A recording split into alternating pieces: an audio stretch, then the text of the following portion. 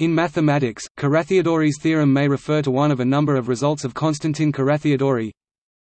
Carathéodory's theorem conformal mapping, about the extension of conformal mappings to the boundary. Carathéodory's theorem convex hull, about the convex hulls of sets in Euclidean space. Carathéodory's existence theorem, about the existence of solutions to ordinary differential equations. Carathéodory's extension theorem, about the extension of a measure Borel-Carathéodory theorem, about the boundedness of a complex analytic function. Carathéodory-Jacobi-Lie theorem, a generalization of Darboux theorem in symplectic topology. Carathéodory's criterion, a necessary and sufficient condition for a measurable set. The Carathéodory kernel theorem, a geometric criterion for local uniform convergence of univalent functions